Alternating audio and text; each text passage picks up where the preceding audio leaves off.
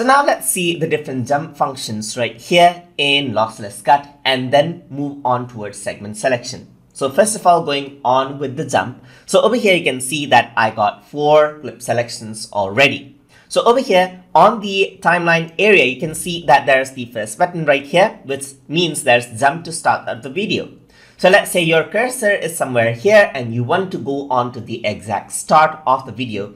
Then what you can do is you can click on this button and you can see that it jumps on the beginning. And once you go over here and click on this one, it jumps right at the end, as you can see right there.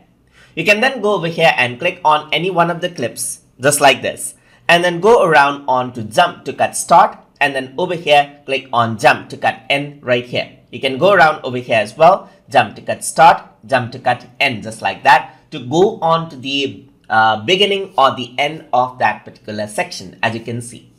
And talking about the sections, uh, there are different ways to select sections as well. One of the uh, ways that is um, that is easy is to go around and select the section by clicking on the section itself and by keeping the uh, cursor right there.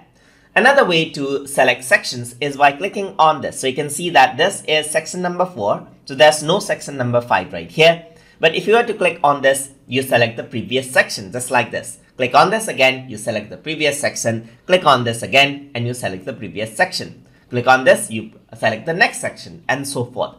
Another way to select this uh, segment is by going on onto the right hand side where you can see all the sections and the in and out points. You can go ahead and click on these sections as well and that is how you select it. And once you go around and then go around and delete that out, you can see that that section is deleted right over there.